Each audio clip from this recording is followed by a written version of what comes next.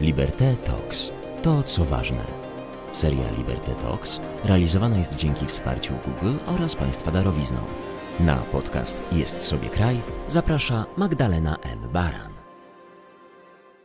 Jeśli bliskie są Ci liberalne idee, przyłącz się do nas i wesprzyj naszą misję na wspierajliberte.pl. Tylko dzięki Twojej pomocy będziemy w stanie utrzymać stałą działalność. Witaj na pokładzie. Dzień dobry, witam w kolejnym odcinku podcastu Jest sobie kraj. E, to podcast, w którym z moimi wspaniałymi gośćmi e, rozmawiamy trochę o Polsce, trochę o ideach. Staramy się, staramy się wspólnie myśleć i w tym myśleniu znajdować klucze do odczytywania naszej rzeczywistości. E, dzisiaj moim gościem, i po raz kolejny bardzo, bardzo, bardzo się cieszę, z mojego gościa jest profesor Przemysław Czapliński. Dzień dobry. Przemku, witam Cię bardzo serdecznie i raz jeszcze dziękuję Ci, że przyjąłeś moje zaproszenie. Pamiętam, trochę to trwało, zanim nam się udało w ogóle umówić na rozmowę, to chyba jeszcze od czasów przedpandemicznych, ale w końcu jest. To prawda, to prawda. Dziękuję za zaproszenie. Kilka miesięcy temu e, jechałam samochodem i słuchałam, słuchałam w TOK FM rozmowy z Tobą. Rozmowy, która, która wróciła mi jak echo, mhm, tak, która niedawno wróciła mi jak echo, bo chyba, bo to jest coś, o czym albo bardzo mało mówimy, albo o czym zupełnie zapomnieliśmy. A, ale zacznę, do tego zaraz dojdę, zacznę inaczej. Mm. Mamy rozmawiać, mamy rozmawiać o władzy, a zatem mamy rozmawiać trochę też o tym, co nazywamy sławą. Ja mam taki mój ukochany, ukochany tekst, czyli ostatnia scena balladyny słowackiego, ten przepiękny monolog, ja o sławę nie dbam, a wyższa teraz nad sąd ludu będę, czym dawno byłabym zrodzona pod inną gwiazdą, uśmiechasz się pięknie, do następnego kawałka, do następnego kawałka będę chciała potem nawiązać. Monolog, który w ogóle przez iluś reżyserów był ostatnio ku mojemu przerażeniu pomijany. A dlaczego ja do niego chcę? Ponieważ o, mamy, i to jest to zapomniane, e, rok 2022 jest rokiem romantyzmu polskiego, prawda? Tego romantyzmu, który my mm, podejrzewamy o różne rzeczy, e, który mm, w wielu, w wielu dyskusjach, w wielu debatach podprowadzany jest pod sąd właśnie o to, że wytworzył, wygenerował nam te wszystkie mity, czy to te mity dotyczące polskości, czy to ten mit wybrania, czy to ta opowieść o, Polak, o Polsce jako e, Chrystusie narodów, a, no, a z drugiej strony jest ta balladyna, jest ta władza i opowieść, która jest z jednej strony przesycona magią, a z drugiej strony tak bardzo realna, jest tak bardzo prawdziwą opowieścią o władzy właśnie. Ojej. O tą władzę cię pytam. No, strasznie, strasznie trudny temat, bo w gruncie rzeczy trudno powiedzieć, gdzie się, gdzie się kończy, prawda? E, nawet gdybyśmy mogli powiedzieć, gdzie się zaczyna. Jest, jest, władza jest wszędzie. Romantyzm będący e, tegorocznym bohaterem e, w naszej kulturze ustanowionym przez Sejm i romantyzm Twoja ukochana epoka pełna jest tekstów o władzy. Tak? Co drugi tekst Mickiewicza, powiedzmy z tego okresu, z tego okresu do, do pana Tadeusza, no to właściwie co drugi tekst Mickiewicza dotyczy władzy, prawda? Konrad, Konrad Wallenrod to także jest e, utwór o dylematach władzy. E, dziady mówią o tym, jak się, jak, się do władzy, jak się do władzy odnieść i pokazują władzę niemoralną, prawda? Mhm. Więc e, musielibyśmy na coś się umówić teraz, żebyśmy mogli się trochę pokłócić. Żebyśmy mogli się trochę pokłócić. A, tak. a to może umówmy się właśnie na te, na te dylematy władzy, ale też na to trochę szaleństwo we, we władzy i na taką opowieść o władzy, która hmm, wiedzieli Platon i Arystoteles, że w pewnym momencie zaczyna nam się obsuwać, obsuwać nam się, e, czy degenerować się e, w te ustroje, których nie do końca byśmy sobie życzyli. Aha, aha. I teraz już szalejemy po wszystkich epokach, a nie tylko nie ograniczamy się do romantyzmu, tak? Dobrze. Tak? Czy, czy, chcesz, czy chcesz zostać przy romantyzmie? Nie, szalejemy. Szalejemy. Podoba mi się, podoba mi się to, że wybierasz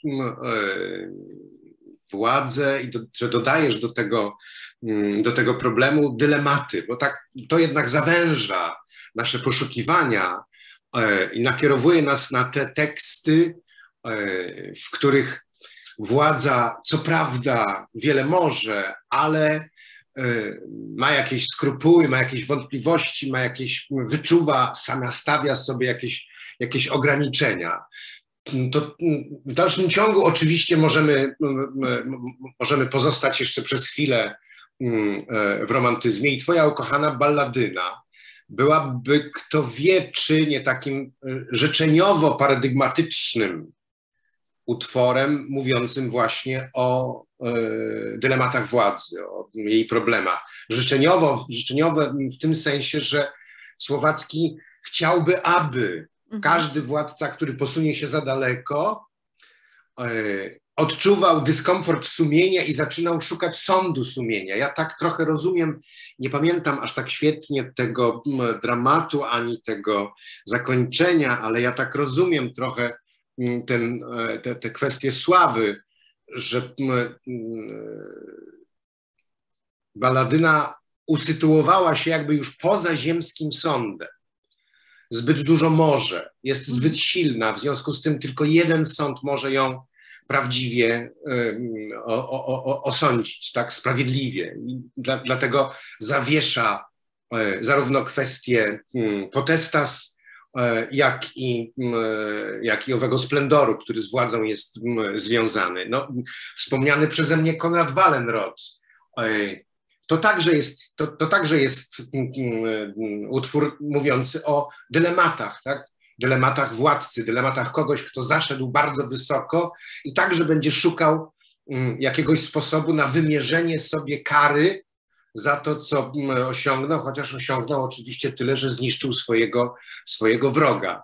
E, z tego wynika, z tej łatwości, z jaką dobieramy sobie, możemy sobie dobierać rozmaite teksty, że musielibyśmy jeszcze to zawędzić, że musielibyśmy się jeszcze jakoś dokopać mm, e, e, mm, nieco węższego zagadnienia, tak? Bo uświadamiam sobie na przykład teraz, że w gruncie rzeczy no, literatura drugiego, drugiej połowy XIX wieku, realistyczna, Sienkiewicz, e, Prus, później Żeromski, ale zwłaszcza ci dwaj, Piekraszewski, tak? Oni niesłychanie często piszą o władzy i to jest zawsze, to jest zawsze pisanie o, o jej dylematach. Więc tak, próbujmy się dogadać do czegoś, ja do bym, czegoś jeszcze konkretniejszego. To ja bym zaczęła, pewnie nam wyjdzie kilka takich konkretniejszych rzeczy, ale tą pierwszą, skoro pojawiła się, skoro, skoro ty wracasz do tej balladyny i do tego kawałka, e, to mnie wychodzi na pierwszy, na pierwszy rzut jednak sprawiedliwość. Mnie wychodzi sprawiedliwość, e, gdzie możemy mówić, że ta sprawiedliwość jest tam sprawiedliwością boską, ale tam jest to bardzo istotny moment, kiedy ona, zanim zostanie koronowana, musi wydać wyroki zgodne z aktualnymi prawami zanim następuje koronacja. Ona tam mówi, na pierwszym siedzę trybunale, jeśli fałsz wydam, niechaj będzie ze mnie gniazdo robaków, niechaj się ogniem spale, ani mnie ujmie dobroć, ani trwoga, ani odwiodą ludy, ludzie, ani czarty, przysięgam, i to jest ciekawe, sobie samej w oczach Boga być sprawiedliwą.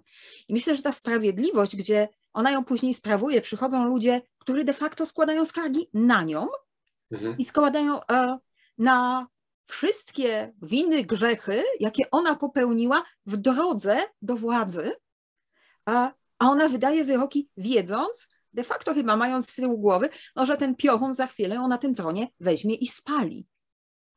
Więc jak jest tą sprawiedliwością, jako z pierwszym dylematem? Mm -hmm, mm -hmm. Obawiam się, że zaczynamy trochę, mm, trochę po dziadersku, tak? Że gadamy po dziadersku, tak? Co to właściwie ma być? Być może należałoby wyjść, spróbujmy zaryzykować następujące przypuszczenie, że romantyzm i literatura drugiej połowy XIX wieku to są jeszcze epoki, w których wierzy się w wewnętrzne dylematy władzy, a więc w jakiś głos jego sumienia i świadomość, że będzie on musiał sam sobie wymierzyć karę, jeśli przekroczy ziemskie sądy. Tak? Mhm. Wobec tego może raczej lepiej byłoby zacząć od dzisiejszego dnia, od bardziej współczesnych tekstów, współczesnej literatury, żeby sobie uświadomić, że paradoks tej teraźniejszości polega na tym, iż mamy no, coraz więcej państw demokratycznych, demokrację przynajmniej od strony technicznej coraz lepiej urządzoną i zarazem w ramach owej demokracji, w ramach demokracji, nie w ramach autorytaryzmu, mhm. Rządzący mogą coraz więcej. Tu jest może jakiś dylemat, tak? E, bo co do tego, co do tego paradygmatu, nazwijmy to tak, paradygmatu mm, władzy, e, mm, dysponującej wewnętrznym sumieniem, tak, władzy, którą potrafi gryźć sumienie, zagryźć sumienie, to mam wrażenie, że tak pisarze XIX wieku co do tego by się zgadzali, prawda? Może jeszcze, może jeszcze pisarze dwudziestowieczni, to znaczy oni projektują takiego władcę, który nawet jeśli dysponuje władzą absolutną, Prus i jego utwory o, o starożytnym Egipcie, nawet jeśli dysponuje władzą absolutną, to i tak ma jakiś wewnętrzny głos sumienia, który nie pozwala mu mhm. korzystać z niej w całości. Paradoksalnie może Gombrowicz byłby jednym z ostatnich, u którego coś takiego się pojawia. Sądził. Ale z drugiej... ślub. Okej, okay, ale z drugiej strony masz na przykład, e, masz na przykład Wyskoczmy z tej Polski, wystawmy głowę poza tą Polskę. E, mamy Dostojewskiego, który we wspomnieniach z domu umarłych pisze o tyranii i pisze, że to jest nauk, że to jest choroba, że to jest coś, że w tyranie, dla mnie to pamiętam było bardzo mocno zdanie, że w tyranie ginie człowiek i obywatel. Ginie na zawsze. A powrót do, on mówi, godności ludzkiej, e, do skruchy, do jakiegokolwiek odrodzenia jest praktycznie niemożliwy. Więc może to jest nasz trop, bo to jest też to, co się chyba wydarza dzisiejszym demokracjom, w dzisiejszym demokracjom tym technicznym, e, że w tym człowieku, który staje gdzieś na przodzie, jakby ginie, a ginie to wszystko, o czym, o czym, mówili, o czym mówili romantycy chociażby, mhm, w tym mhm. sensie tego wewnętrznego zmysłu etycznego. Mhm. I wolę po tym, co się stało w XX wieku, po I wojnie, II wojnie, po zagładzie, po łagrach i lagrach lepiej wychodzić chyba właśnie od takich strasznych założeń. To znaczy właśnie od założenia, że bez względu na to, czy władca ma sumienie, instynkt wewnętrzny, czy ich nie ma, to znajduje się w takim systemie politycznym, w którym coraz więcej może. Mhm. Tak? W związku z czym spróbujmy przez chwilę może pogadać właśnie o takim portrecie władzy, a nie władcy. Tak? E, bo mam wrażenie, że wielkie, głośne e, dzieła dotyczące władzy, sprawowania władzy, gra o tron, e, jak się nazywał ten serial mm, House of Cards. House of Cards. Tak? Uh -huh. Więc tego typu dzieła, seriale, e, powieści, one mówią właśnie o rosnącej władzy w obrębie systemu demokratycznego. Mhm. I tutaj, się, tutaj już jesteśmy, tak tkwimy, w, e, rozmawiając o tych tekstach, tkwimy w rzeczywistości, do której należymy, prawda? A mianowicie w państwach demokratycznych, e, jeszcze demokratycznych, jeszcze trochę demokratycznych, może już niedługo, ale, ale nadal, e, otóż w tych państwach demokratycznych rzeczywiście coś się stało, coś, co powoduje, że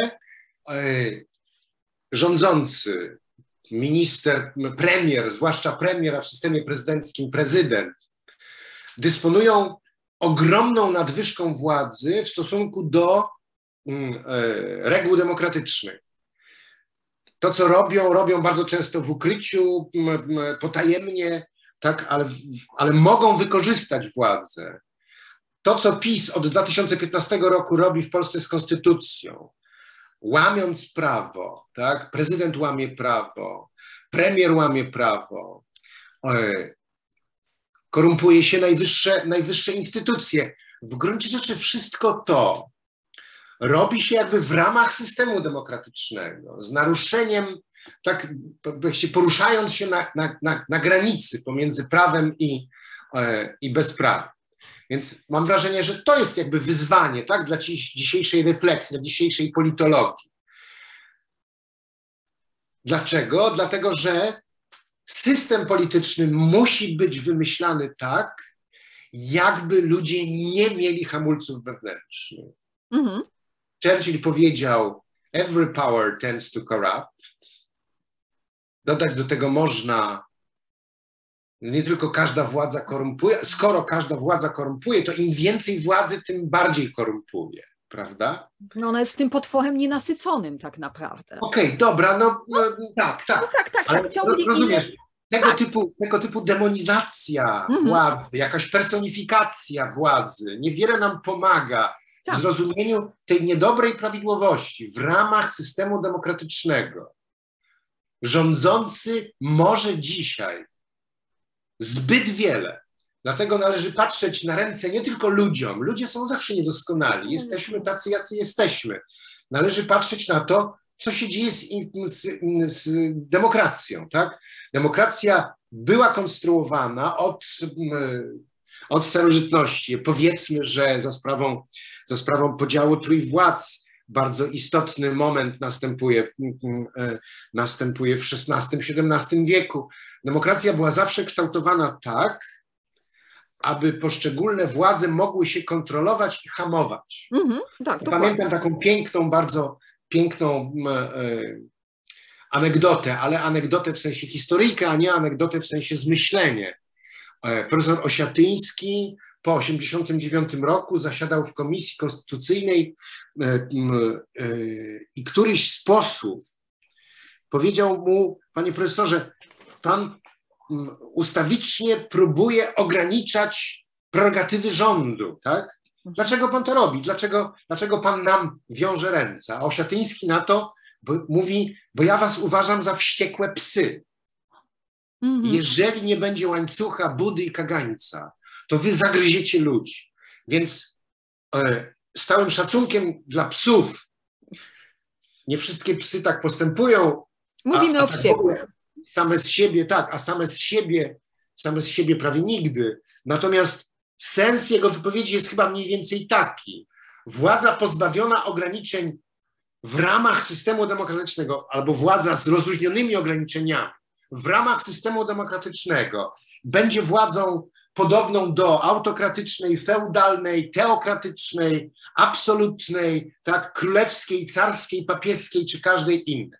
Co się stało z systemem demokratycznym? Jak sądzisz? Myślę, że, e, myślę, że system demokratyczny o, zaczął nam się rozsypywać e, wtedy, kiedy zbyt dobrze poczuliśmy się w naszej wolności. Mhm. Kiedy myśmy się zbyt dobrze poczuli w tym, że okej, okay, dobra, jesteśmy, dobra, niech będzie konstant, jesteśmy w tej wolności, e, jesteśmy w tej wolności nowożytnych, gdzie mamy nasze wolności osobiste, tak, a tutaj oddajemy, prawda, oddajemy e, w ręce, często, jak to Tischner pięknie pisał, absolutnie niedoświadczone ręce, naszą mhm. wolność, wolność polityczną. E, ale drugim stopniem to jest chyba to, że myśmy się tą wolnością polityczną albo, i to są dwie opcje, dwie opcje albo a, przestaliśmy się interesować, albo nie nauczyliśmy się e, przez też braki edukacyjne, nie nauczyliśmy się tego, jak od tej władzy i czego od tej władzy można wymagać w ogóle. To jest, e, jak mówisz, że te psy, że psy same z siebie nie są, nie są wściekłe. E, wszystko zależy od tego, jak się, jak się psa ułoży, czego się psa nauczy. Mhm jakie, e, co się z niego wydobędzie, prawda? Możesz z mhm. niego wydobyć, e, możesz z najbardziej groźnej rasy wydobyć to, co jest, to, co jest w niej najlepsze, mhm. E, a możesz, przepraszam, sprawić, że Chihuahua stanie się mordercą. No, o, okay, rozumiem, rozumiem, tak musimy wyjść szybko z tej, z tej metafory, tak? Z tej metafory, ale, ale, tak, ale myślę... to, co powiedziałeś, zabrzmiało, zabrzmiało ciekawie, prawda, taki critters. Myślę, że nasze, tak? wiesz, myślę, że takie nasze niezrozumienie maleństwo, tego, które rzuca się nam do gardła. Mhm. Myślę, że to nasze niezrozumienie trójpodziału władzy, niedorośnięcie do sprawiedliwości, niedorośnięcie też do i to zarówno obywateli, jak i klasy politycznej do tego drugiego warunku demokracji, mhm. czyli do wolnych wyborów, do tego, czym one są, jak powinny być przeprowadzone.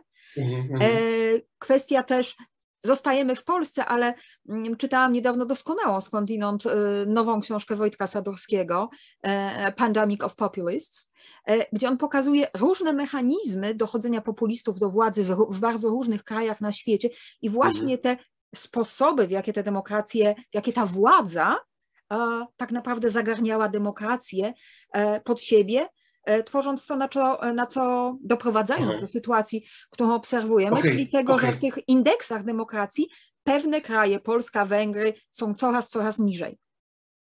Okej, okay, ja bym do tego wszystkiego dodał jeszcze jedną rzecz. Tak wydaje mi się, że, że bardzo, bardzo ciekawie to zarysowałaś, ale ja bym powiedział tak. E,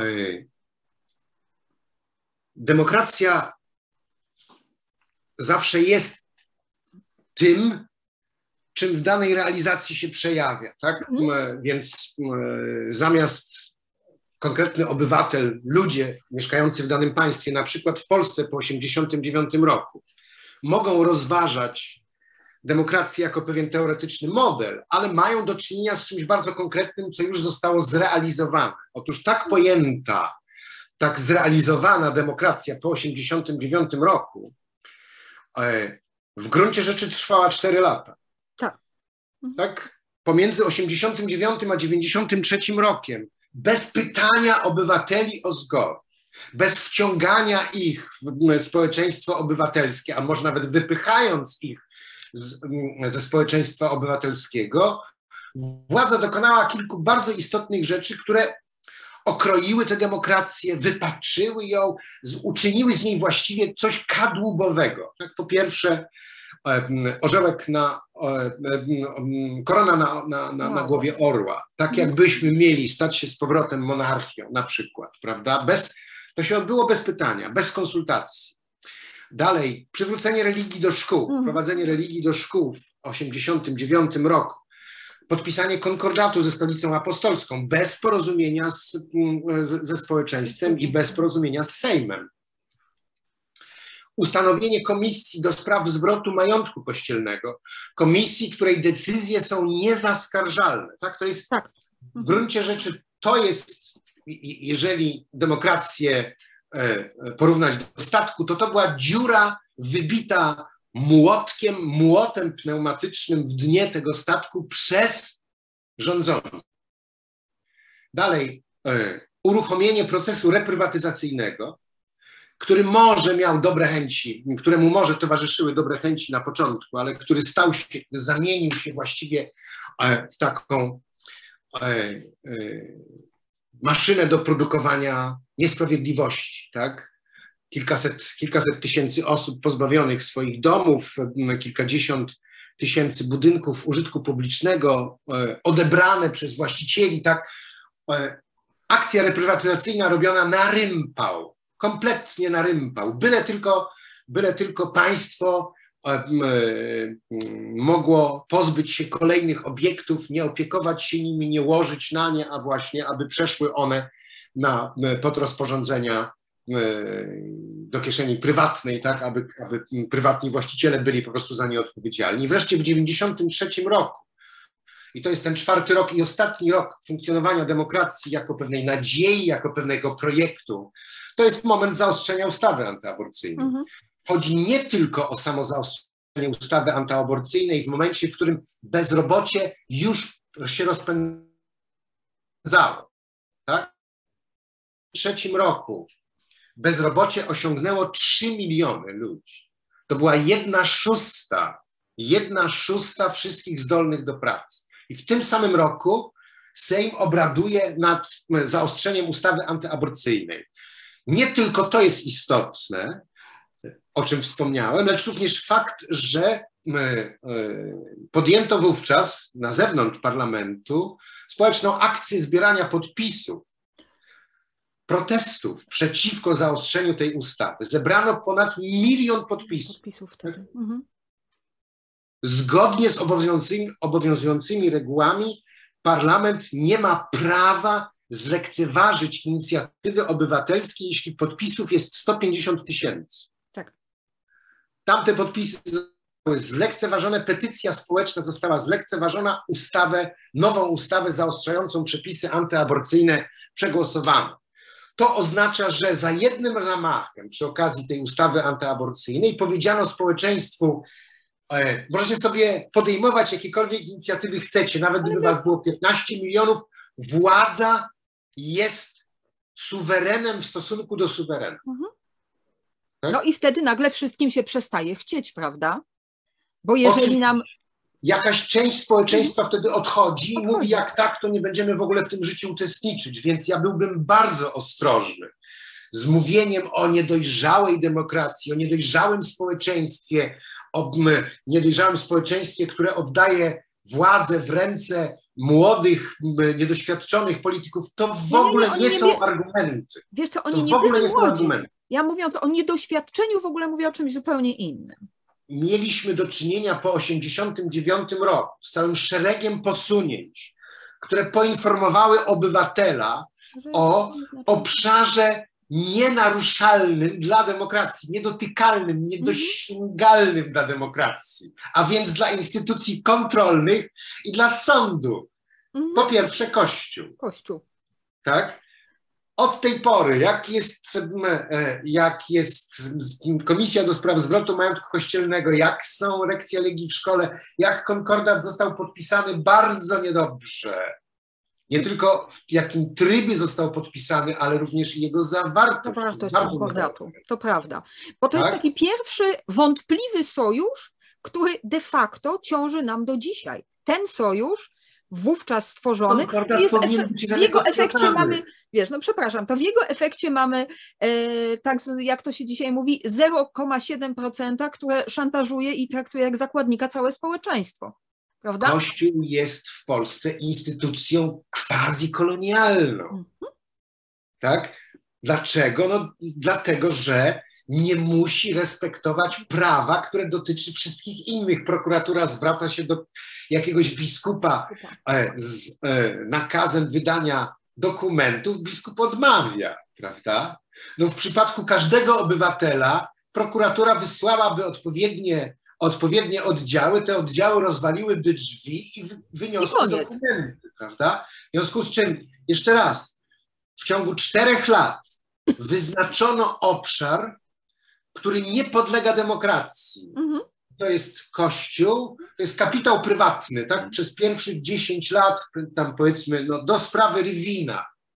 Polska zmierzała w stronę takiego systemu oligarchicznego i mam, mam wrażenie, że ten pik postaci afery rywinowej, czyli ujawnienia układów pozaparlamentarnych i pozarządowych, które mają wpływ na podstawowe decyzje w państwie, ujawnienie tego układu na szczęście rozwaliło go, zatrzymało go. Tak, nie mamy dzisiaj do czynienia z takim systemem jak na Ukrainie, jak prawda, na Ukrainie, że, czy... właściwie oligarcha, oligarcha jest równy ministrowi czy, czy premierowi. Więc e, kapitał prywatny, własność prywatna, która była hołubiona przez całych, no właściwie przez pierwsze dwie dekady, a nawet w tym słynnym programie e, premiera Morawieckiego, e, tym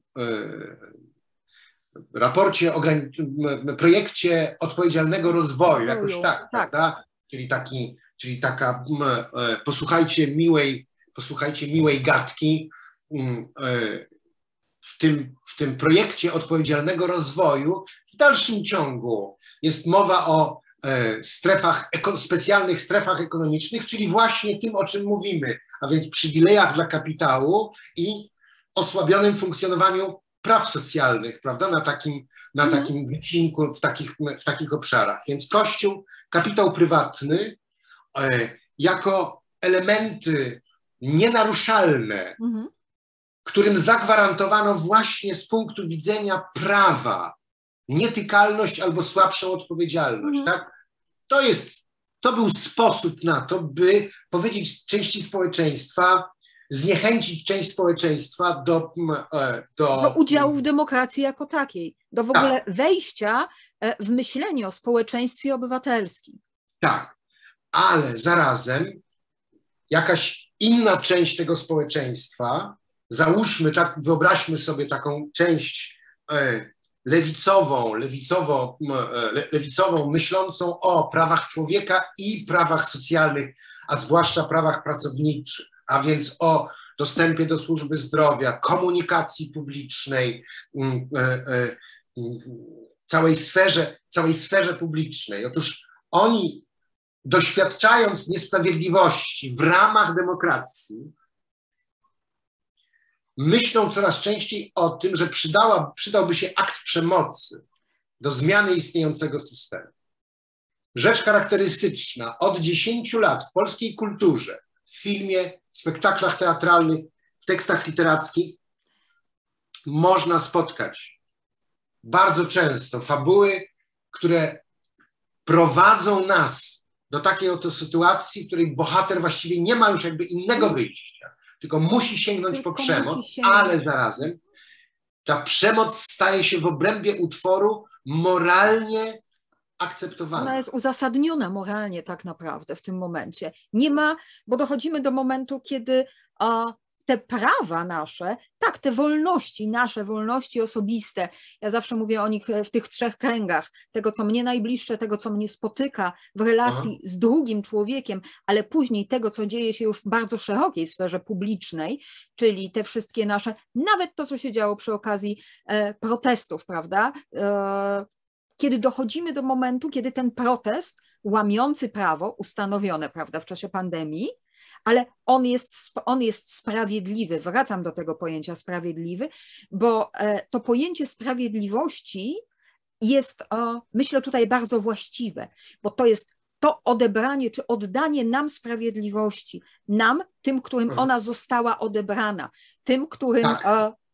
no mhm. właśnie, czy to... Tylko, że ja mówię o tym, ja mówię w tym momencie jeszcze o jednej innej rzeczy, a mianowicie o tym, że wśród zwolenników demokracji rośnie nieufność do demokracji, a wraz z tą nieufnością do demokracji rośnie zgoda na chwilowe choćby złamanie reguł demokracji, mhm. istniejącej tej niesprawiedliwej, złamanie reguł demokracji po to, żeby ustanowić lepszą demokrację.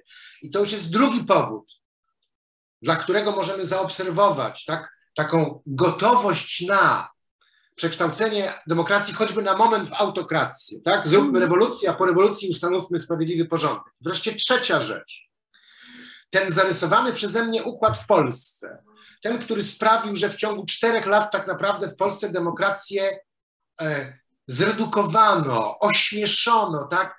Sprowadzono ją do praw obywatelskich. To jest niesłychanie, to jest jakby powiedziałbym taki najbardziej cyniczny wariant demokracji, który mówi ci. To jest wykastrowanie e, demokracji de facto.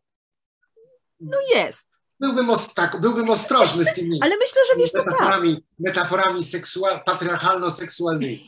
E, otóż ten demokracja w takim wariancie jest w gruncie rzeczy demokracją dla silnych. Tak? Mhm. Masz prawa obywatelskie pod warunkiem, że jesteś w stanie sam sobie je zagwarantować. Tak?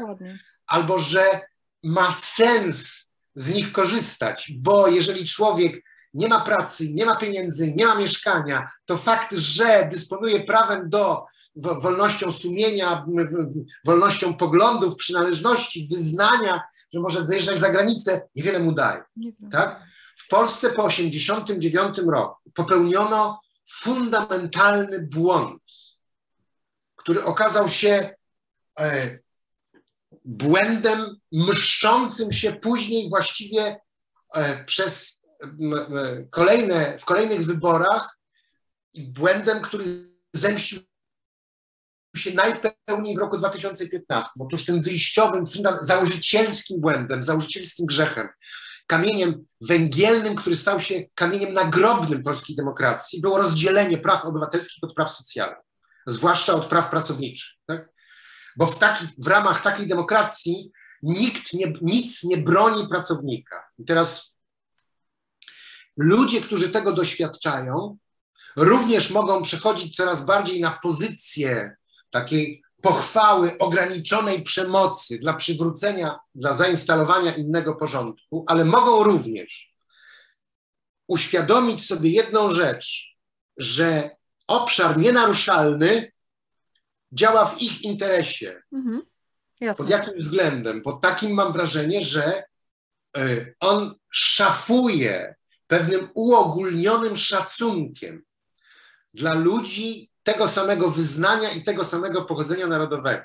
Dlatego, że to jest, polska demokracja stała się demokracją kapitalistyczno-nacjonalistyczną, tak? Jesteśmy takim quasi nacjonalizmem socjalistycznym, e, że w istniejącym, istniejącym układzie oni mogą jakby z wnętrza owego nienaruszalnego obszaru egzekwować pewną władzę w stosunku do słabszych. Tak? Mhm. Czyli można podnieść rękę na innowierce, można uderzyć muzułmanina, można spotwarzyć Żyda, tak? E, dlaczego? Dlatego, że stoi za tobą instytucja kościoła, instytucja e, e, polskiego państwa, która instytucja, która pochwala czy akceptuje nacjonalizm. Wobec tego przestępstwo nacjonalistyczne, nienawiść nacjonalistyczna nie będzie karana. Czyli ludzie wyczuwają tutaj ową bezkarność. Mhm. I znowu kolejna część społeczeństwa przechodzi na stronę tych, które mówią: dobra, w porządku, niech ta demokracja taka autokratyczna będzie, ponieważ ona daje mi prawo do tego, żebym mógł właśnie na ulicy wykrzyczeć swoją nienawiść, prawda? Precz z Żydami, pedały do gazu, tak? To są przestępstwa w Polsce praktycznie nieścigane. A tak? które powinny być tak naprawdę o... ścigane z urzędu, bo mowa nienawiści powinna być ścigana z urzędu, a jak wiemy nie jest i zgłaszanie tak. tego rodzaju przestępstw jest bardzo, bardzo o, trudne, bo tak naprawdę, kiedy je zgłaszamy, nikt nas nie chce słuchać. Uderzyłeś, w dwie, uderzyłeś w dwie rzeczy. Uderzyłeś w dwie rzeczy, które ja chcę, które ja chcę pociągnąć. Chcę pociągnąć e, pojęcie szacunku, szacunku, ale równocześnie, e, bo to jest coś, co, co wydaje mi się mm, bardzo istotne dla myślenia o władzy. O szacunku z jednej strony, a z drugiej strony myślenie o mm, trochę arebur, o tej sile bezsilnych, prawda? bo to nie jest, bo to nie jest tak, jak było, tak jak było u, mm, u Hawla, e, tylko to są ci bezsilni, którzy zyskali razem z PiSem w 2015 roku zyskali władzę. Bo to są ci, kiedy popatrzysz na ścianę wschodnią, ja pamiętam e, PGR-y likwidowane w Bieszczadach i to, co wtedy mówili tam ludzie, jak e, to jest ta transform, to jest moment transformacji, to jest moment utraty pracy, to jest moment utraty jakichkolwiek, jak się wydawało, nie przywilejów, prostych praw socjalnych. Mm, mm, to mm. było również tam bardzo duże zagrożenie dla edukacji nawet, ponieważ tam się wszystko wtedy rozsypywało.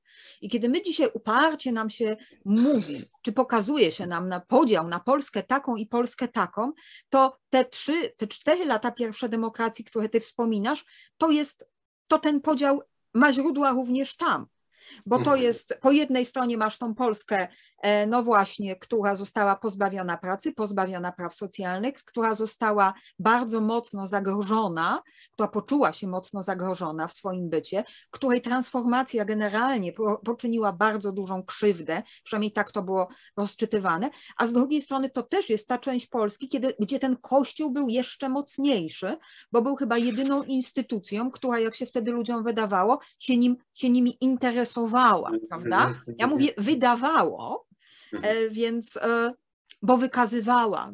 I też ta religijność, nawet religijność, czy może lepiej powiedzieć pobożność, mhm. była tam, była tam dużo, dużo mocniejsza. Być może znaleźli się tam też tacy mówcy, i jak się wydaje, do dzisiaj tacy mówcy tam się trafiają, skończę tylko zdanie, e, którzy byli w stanie przekonać ludzi do wszystkiego. I to się chyba zdarzyło w 2015 roku. Przekonanie ludzi, tych, których ja zupełnie nie w hawlowskim sensie nazywam bezsilnymi, e, do tego, że oni odzyskają to jest to, co PiS mówił, wstajemy z kolan, polityka godnościowa. To jest przemówienie do tej wartości, to jest przemówienie do szacunku, którego, jak oni, jak poczytam, jak się czyta chociażby badania socjologiczne, ten szacunek był tam wartością najbardziej zaniedbaną. I to, co PiS w mniemaniu części tych ludzi im oddawał, to był szacunek do nich. To, czy to jest prawda, to jest coś zupełnie innego. Ale Aha, mówię w tym momencie w sferze symbolicznej. Tylko właśnie na tym, rzecz, na tym rzecz polega, tak? E, pozwolę sobie, jestem z Poznania, więc jakoś tak po poznańsku pozwolę sobie krótko e, zrekonstruować drogę, którą szliśmy. E, to, o czym mówiłem, dotyczy bardzo niedobrej prawidłowości, która w najprostszy sposób da się ująć tak. Rośnie odsetek ludzi pochwalających naruszenia demokracji, ponieważ są to ludzie, którzy w istniejące demokracje nie wierzą, bo mm. oni doświadczyli jej nieskuteczności. Tak? To tak, jest demokracja, która ich nie broniła, to jest demokracja, która ich pokrzywdziła, to jest demokracja, która ich traktuje zupełnie obojętnie, tak jakby oni nie istnieli i tak dalej, i tak dalej. I teraz ty mówisz, że w 2015 roku pojawił się taki bardzo silny, wyrazisty język godnościowy, no ale nie tylko. Właśnie na tym polega problem, że w 2015 roku nowy rząd uruchomił bardzo konkretne działania osłonowe, prosocjalne. Mhm. Podniesienie stawki godzinowej, e, podniesienie minimalnej płacy, e, podniesienie wysokości emerytury, obniżenie wieku emerytalnego mhm. I wprowadzenie dodatku 500 plus na drugie dziecko, a później od 2017 roku na każde dziecko. Mhm. To są wszystko, to są wszystko bardzo konkretne ekonomiczne świadectwa szacunku. Mhm. Bo gadanie o tym, że kogoś szanujemy i niedziałanie na jego rzecz, lekceważenie go jest jeszcze gorsze, bo dewaluuje pewien język, prawda? Prowadzi do korozji tego pojęcia. Szanuję cię, ale jesteś mi obojętny, więc rób sobie nie, co chcesz. Powiem tylko, tu między nami nie ma niezgody, bo mi chodziło o język kampanii okay. wyborczej, a potem przechodzimy do faktów i do znowu zrealizowanych okay. obietnic. Okay. Prawda? Ja chcę powiedzieć, ja chcę powiedzieć, że nie istnieje dzisiaj uznanie bez działań redystrybucyjnych, -hmm. tylko w ten sposób. Tak? Demokracja e, weryfikuje się, sprawdza się w oczach swoich wyborców, czy państwo sprawdza się w oczach swoich obywateli. Tylko problem polega na tym, że w 2015 roku ta przedziwna relacja pomiędzy prawami socjalnymi i prawami obywatelskimi została odwrócona przez PiS. Tak. Jeżeli wcześniejsze rządy, włącznie z prawicowymi, lekceważyły prawa socjalne, zwłaszcza prawa pracownicze, Natomiast eksponowały prawa obywatelskie, tak? Mówiono, proszę bardzo, zobaczcie, macie prawo wyjazdu, wjazdu, macie prawo przynależności do dowolnej partii, dowolnego, dowolnego kościoła wyznaniowego i tak dalej, i tak dalej. To są wasze prawa obywatelskie. Bierzcie życie we własne ręce, tak? Ale prawa pracownicze znajdowały się w jakimś horrendalnym zupełnie zaniku. To w 2015 roku PiS odwraca te relacje i proporcje. To mhm. znaczy, przywraca działania, wprowadza działania osłonowe, które przede wszystkim mówią obywatelom: pamiętamy o Was, wiemy, że istniejecie, wiemy, że Wam ciężko, w związku z tym działamy na Waszą rzecz. Obniżka wieku emerytalnego, podwyżka najniższej emerytury to są bardzo konkretne działania. One mogą być złe, irracjonalne z punktu mhm. widzenia przyszłości, tak? Nie obniża się wieku emerytalnego w społeczeństwie, które się starzeje. Podpowiadałaby logika, prawda? Ale okej, okay, tak czy owak są to działania prosocjalne, którym towarzyszy stopniowy zabór praw obywatelskich. Tak? Mhm. PiS dokonał owego switchu. I znowu powiedziałbym tak, zagrożenie dla demokracji, to od którego to zagrożenie, od którego wychodziliśmy, podejmując temat przez Ciebie zaproponowany. Władza może coraz więcej. Tak, rzeczywiście władza może coraz więcej, bo część społeczeństwa mówi, pomóżcie nam zgodnie z prawem czy bez prawa, ale my umieramy albo jest nam bardzo ciężko. Jeżeli nam nie pomożecie, to znaczy, że demokracja jest po prostu do bani, do luftu, do kitu, do chrzanu. Tak? Więc to jest ta jedna część społeczeństwa, która mówi, coś w tej demokracji nie działa. Trzeba rozluźnić jej reguły. System kontrolny powinien być słabszy, bo nie można pomagać części społeczeństwa. Jeszcze inni korzystają z autorytaryzmu w obrębie demokracji i mówią tak, dobrze, tutaj my powinniśmy rządzić, bo skoro nie mamy dużo pieniędzy, nie mamy wpływu na kościół, nie mamy wpływu na partię, ale możemy przynajmniej pobić Żyda, Murzyna, muzułmanina, prawda? Możemy, my, możemy sobie pokrzyczeć pedały do gazu i tak dalej, i tak dalej, prawda? Więc to są ludzie, którzy dostają pewną nadwyżkę uznania, mhm która pozwala im dokonywać rzeczy przestępczych w przestrzeni publicznej, ponieważ chroni ich nacjonalistyczny i katolicki. Ponieważ chroni ich władza. Tak, ale ta władza robi to w sposób bardzo interesowny. I wreszcie znowu w aktualnym wariancie po 2015 roku znowu istnieje taka grupa społeczna, która mówi, e, trzeba wymyślić taki wariant, żeby władzę obalić, ponieważ oni prędzej czy później po prostu zatopią Polskę. Tak? Oni doprowadzą Polskę znowu na skraj przepaści, tak jak Gierek. Rośnie zadłużenie, e, rośnie rozwarstwienie ekonomiczne w społeczeństwie, tak to są te uboczne skutki, prawda? Bardzo. Gdzieś tworzą bardzo... ci się, przepraszam, że się wtrącę, gdzieś powstają ci oligarchowie co nie powstało nam, prawda, y, przez, wspomnianą przez ciebie aferę Rywina, a w tej chwili wyrastają nam tacy quasi-oligarchowie, którzy zamiatają pod siebie coraz więcej i coraz więcej i zamiatają przywileje związane, no właśnie, wygenerowane przez, przez władzę. E, ale w tym wszystkim masz ten moment, który to bodajże Kisielewski tak pięknie o tym pisał, że władza, która chce rządzić wszystkim, bardzo się dziwi, kiedy okazuje się, że, mm, że będzie również pociągana do odpowiedzialności kiedyś za to wszystko, prawda? I mm. będzie, i kiedy, i teraz moment, kiedy mamy moment demokratyczny, czyli moment demokratyczny, który czeka nas no, w przyszłym roku. Nie wiemy, czy wcześniej, nie wiemy, czy w terminie konstytucyjnym, czy mm. może, czy może odrobinę wcześniej, bo i takie prognozy gdzieś tam są przy okazji na przykład nieuchwalenia budżetu, e, no to pojawia ci się opcja pociągnięcia do odpowiedzialności za wszystko. Tylko, tylko z drugiej strony jest ten moment, kiedy nie można już się z pewnych rzeczy, no jak no zabierz, zabierz 500 plus i co? No nie, ale pociągnięcie do odpowiedzialności nie oznacza wycofania się nie, nie, ale ja mówię, wiesz, zobowiązań socjalnych. To, to, jest, to jest jasne, tak, mm, e, tych, którzy naruszyli prawo, tych, mm. którzy popełnili, dopuścili się przestępstw, wykroczeń, należy po prostu postawić przed sądem, zapewnić im sprawiedliwy proces. Ja mówię jednak e, może w sposób nieprecyzyjny. Ale mówisz precyzyjnie, tylko ja cię wyciągam i dopytuję już trochę o coś innego. O ten moment, o ten trochę. Nie pytam o dzień po.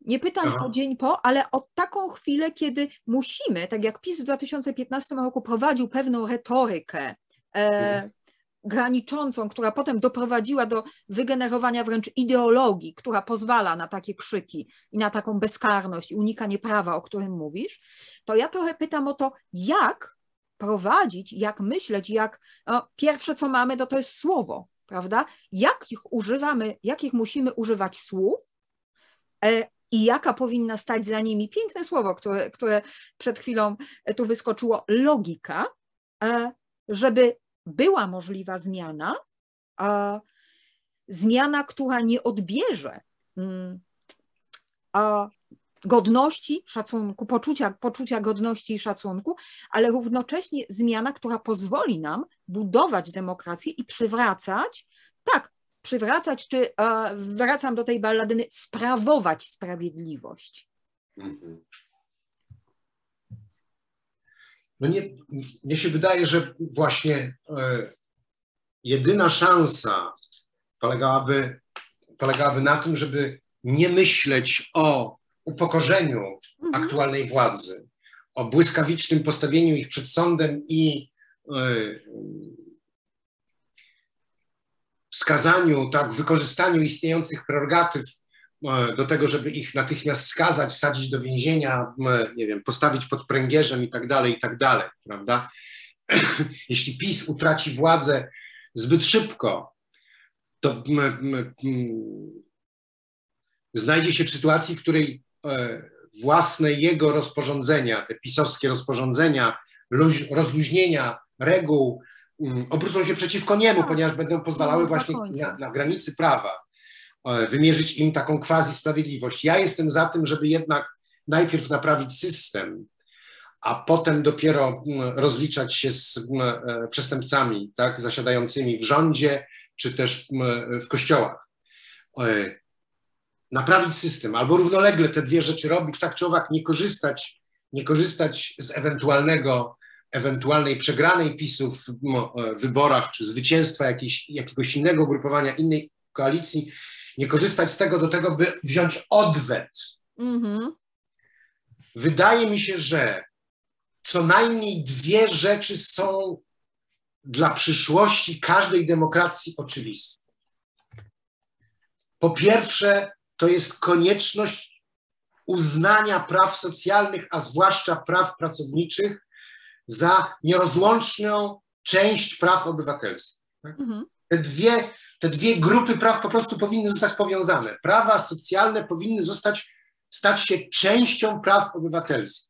Prawo do pracy, prawo do opieki zdrowotnej, prawo do nauki, tak? To mhm. powinny być po prostu prawa obywatelskie. Również do godziwej płacy, prawda, za, wy, za wykonaną pracę. To wszystko. Tak, oczywiście, no, no, to, jest, to jest oczywiste, tak? No, e, skądinąd kodeks karny tak stanowi, mhm. prawda? Tak stanowi, że nie, e, niepłacenie za pracę jest przestępstwem, prawda? E, więc to jest ta pierwsza rzecz, tak? Przyszłość należy do takiej demokracji, która będzie mniej zagrożona, a ona będzie mniej zagrożona, rozumiesz, po to wymieniałem wszystkie te rzeczy, tak. Aby mniej więcej jakoś tak to zarysować, że wydaje mi się, że demokracja będzie trwalsza, silniejsza, bezpieczniejsza. Ludzie będą się lepiej, chętniej, mocniej w nią angażować, mocniej ją współtworzyć, wtedy, kiedy ona po prostu będzie ich bronić, mhm. tak? A nie wtedy, będą znajdowali, będzie kiedy, ona kiedy będą mogli znaleźć się w niej, kiedy będą mogli się poczuć częścią tego społeczeństwa, nie na tym, zasadzie, tak. nie tylko deklaratywnie, ale faktycznie, tak. A wtedy też będziemy tym, mogli moja... uniknąć iluś szaleństw władzy. Tak. Będziemy mogli uniknąć szaleństw władzy, ponieważ społeczeństwo będzie popierało rozwiązania ograniczające władzę. Mhm. Społeczeństwo, które czuje się niezaopiekowane, porzucone, lekceważone, akceptuje rozluźnienie reguł demokratycznych, ponieważ tylko dzięki rozluźnieniu władza może działać na ich korzyść. Tak więc po pierwsze sądzę, że demokracja w przyszłości może być silniejsza, tylko jeśli silniej zostaną związane prawa socjalne z prawami obywatelskimi, jeśli prawa socjalne zostaną uznane za część praw obywatelskich, tak żeby nie można było ich rozdzielić, najwięcej nieszczęść w całej Europie Środkowo-Wschodniej wzięło się właśnie z tego, że prawa socjalne zostały poluźnione i każdy musiał o nie walczyć sam, a prawa obywatelskie zostały zagwarantowane całej reszcie. Tak? Jeśli stać cię na to w sensie ekonomicznym, jeśli jesteś wystarczająco silny, to prawa obywatelskie masz, prawda? Więc to jest pierwsza rzecz. Druga rzecz.